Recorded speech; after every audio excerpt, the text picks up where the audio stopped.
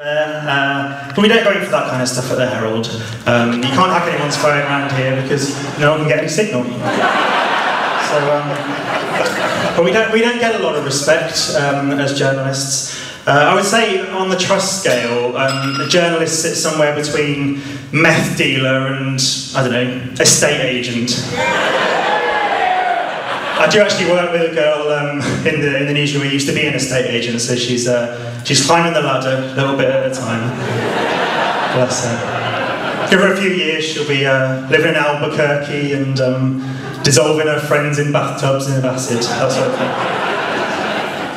Uh, so I've recently become a dad.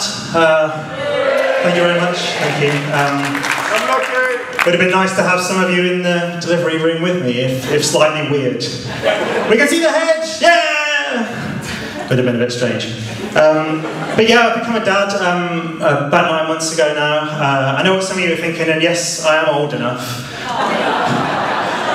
I know I look like a 12 year old who's just stumbled out of a Sunday morning youth club, but uh, I'm actually 30, I'm a, I'm a proper grown up now. Um, but I am constantly reminded by how young I look.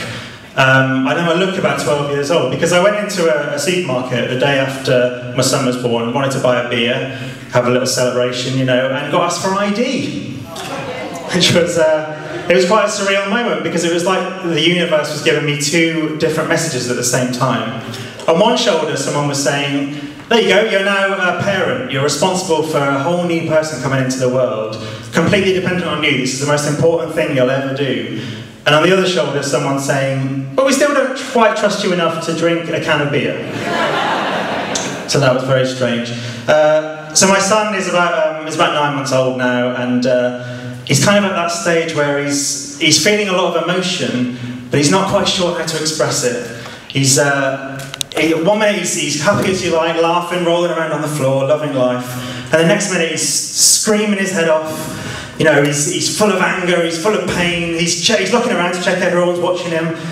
He's basically Cristiano Ronaldo. and that's a nice short set. I think that's everything I've got time for, so thank you very much for listening. Cheers.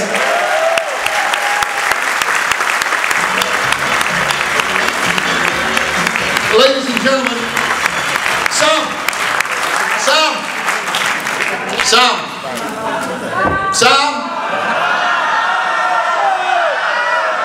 My friend, this is a baptism of fire. My first gig was in a little room in Bristol with 17 people in an Alsatian. You have stepped foot in the Athenaeum in front of 330 people, and you have had a better gig than I had at my first night, so fuck you.